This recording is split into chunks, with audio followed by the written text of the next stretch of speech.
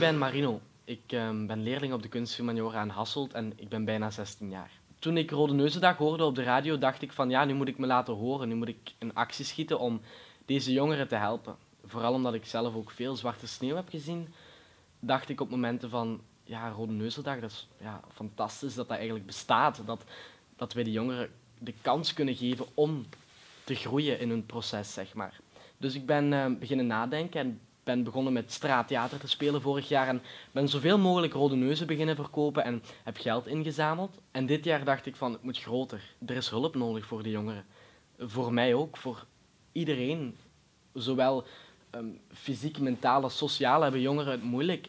Ik dacht dus van, ja, ik maak een eigen theatershow, want theater is mijn passie en ik ga daarmee Vlaanderen doorkruisen. En ik ga jongeren helpen daarmee. Blijkbaar werkt dat heel goed, want we hebben heel veel voorstellingen. We gaan echt naar Gent, we gaan naar Beelze, we gaan naar allerlei steden. En hier in Hasselt is ook de grote première natuurlijk.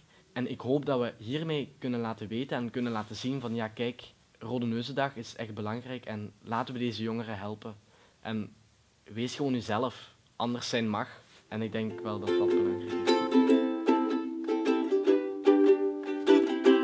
Zo, ik ben dus Jeroen met mijn ukulele. En uh, het is 8 uur s ochtends, ja. Tijd om naar school te gaan.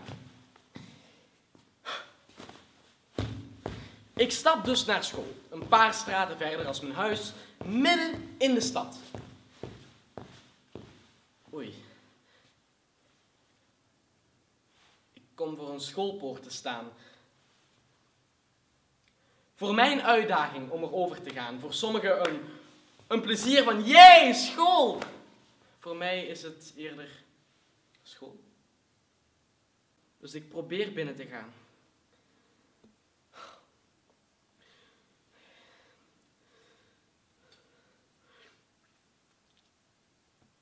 Oh nee, het gaat niet lukken. Gaat niet lukken. Wacht, we, proberen het nog eens. Uh, nu doen we het in één keer. Drie. Twee. Ik ben binnen. Jee, school. Toch maar een glimlach opzetten, want iedereen verwacht dat tegenwoordig, toch? Mijn naam is Alexandra Poney. Ik ben leerkracht Frans in de kunsthumaniora van Hasselt in het PICO. En ik heb Marino leren kennen als leerling in het vierde jaar vorig jaar. Ik sta Marino bij in het uh, reilen en zeilen van het uh, Rode Neuzenavontuur. We zijn daar met vieren mee bezig. Wij proberen bij te staan en het, uh, de praktische schikkingen te treffen en morele steun aan te bieden indien dat nodig is. Marino is heel goed in wat hij doet. Um, hij doet dat met heel overtuiging en dat is gebaseerd op eigen ervaring en dat ziet men in de vertoning. Ik heb Marino vorig jaar leren kennen bij de leerlingenraad. En hij was een heel uitgesproken leerling. Zo, uh, heeft veel op door zijn engagement. En we zijn toen met de leerlingenraad uh, begonnen met de Rode Neuzen, dag 2018. En Marino had heel veel ideeën.